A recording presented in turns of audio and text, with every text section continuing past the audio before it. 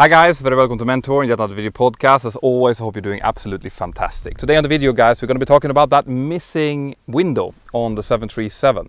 We're also going to be talking about that strange smoke that you can see coming from the air conditioning units and also, will we ever see completely windowless aircraft? Stay tuned.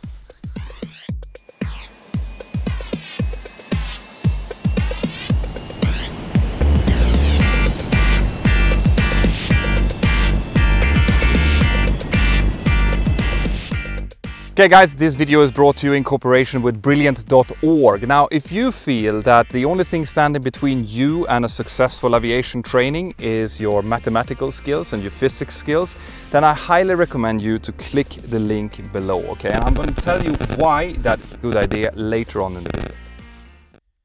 So, I'm sure that some of you have experienced this, or if you haven't, you've probably seen memes about it on the internet. And that is when you have been paying that little bit of extra money to book a window seat because you want to see these gorgeous views during takeoff and landing. And you pitch up in the uh, aircraft and you sit down and you realize that your window seat doesn't actually have a window. Right. Why is this? Well, in order to understand this, you need to understand a little bit about the air conditioning system of the 737. So the 737 can have three different sources for air conditioned air. It's either the engines that are feeding bleed air, or it's the APU that is feeding bleed air, or it's an external air conditioning source. Okay.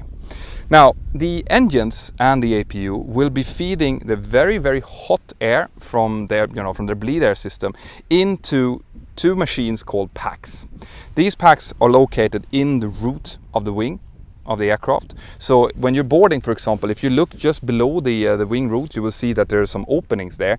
These is the this is the opening to the cooling air for the packs. So inside of the packs, the uh, hot air will mix with cool air from outside. It will be air conditioned, and then it's going to be fit into something called a mix manifold.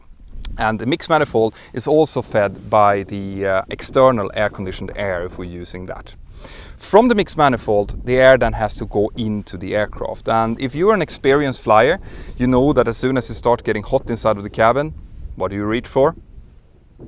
The Gasper outlets. So you reach up and you start turning those Gasper outlets to, to get some air in. So if you look through the center of the cabin on the 737, you'll also see that there are these uh, air inlets throughout the center part. So this means that the air that's coming into the aircraft is actually being fed from the top and then it's kind of falling down on you guys.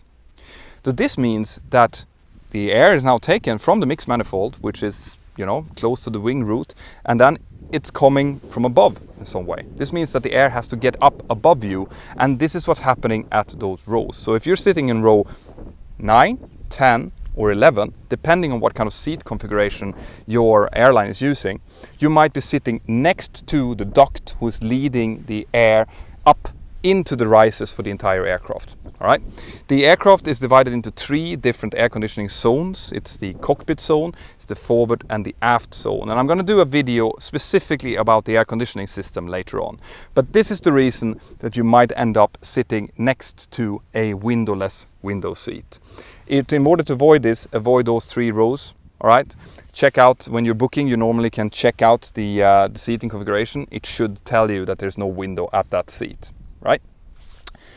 So what about this strange smoke that you sometimes can see coming out of the uh, Gasper outlets?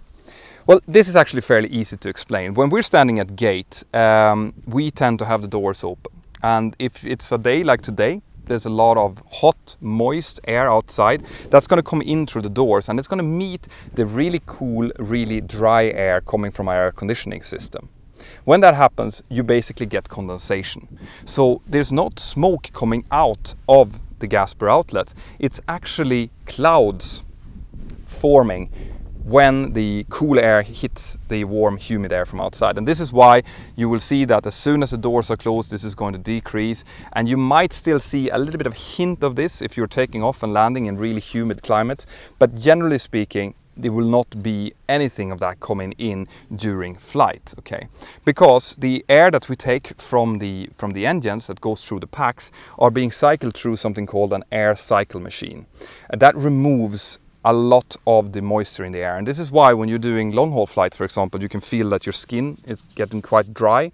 And we also have to tell both our cabin crew and the new pilots coming into the company that you have to drink a lot of water because normally when you're out walking about like this, you get a little bit of moisture in while you're breathing, but in the air of an aircraft, you actually don't get that much. So we tell them you have to drink around two liters per day in order to feel well. Right guys, so what about windowless aircraft then? Well, if you've been following the press during the last week or so, you would have noticed that a, an aircraft manufacturer uh, came out with a concept aircraft that was completely windowless. All right. Instead of windows, uh, they had fitted these uh, curved OLED screens entire, you know, in the entire cabin of the aircraft, and that would show either the outside conditions, so it would basically feel like, you know, flying in a glass bowl, or it could show anything that you can think about from movies to pictures of your destinations to floating in space. It was really, really cool. From, a, uh, from an aircraft manufacturer point of view, it makes sense because the, uh, the windows tends to be quite heavy. If you can remove them, you remove a lot of weight from the aircraft. And also the reinforcements around the windows can be removed.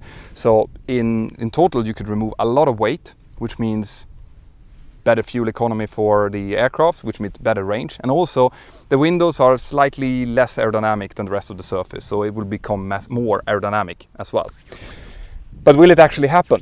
That's the question, and that's the question that you guys have been asking me. Now, what you have to understand is that Windows is not only there for your uh, enjoyment, all right? It is actually a safety feature.